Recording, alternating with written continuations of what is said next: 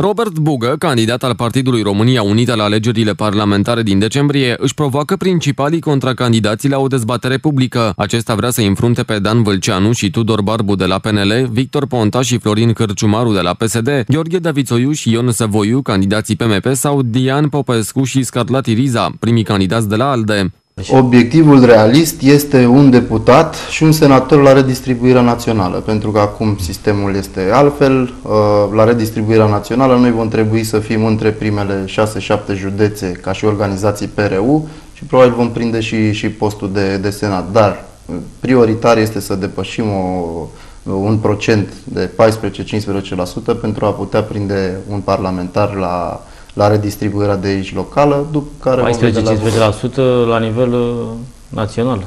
Nu, pe Gorj. Pe Gorj. Pe Gorj. La nivel național, bineînțeles, ținta este să depășim, scor, să depășim pragul electoral. Unele voci s-au grăbit să declare că această campanie va fi mai anostă pentru că principalele partide ar fi bătut deja palma. Invitat într-o dezbatere electorală la Gorj TV, Severus Militaru, candidat PNL la un post de deputat, a explicat că nu se poate vorbi despre aranjamente. Și PNL-ul prin vocea președintelui, prin vocea Alinei Gorghiu și PSD-ul, prin vocea domnului Dragnea, au anunțat că nu există sub nicio formă un uh, pact de coabitare uh, Vorbeam de județul Gorj, totuși.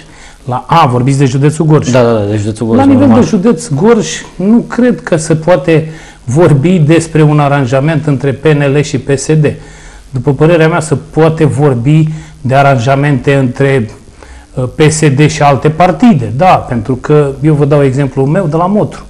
Deci la Motru toată lumea s-a luptat cu PSD-ul, după care au făcut majoritate în Consiliul Local tot cu PSD-ul.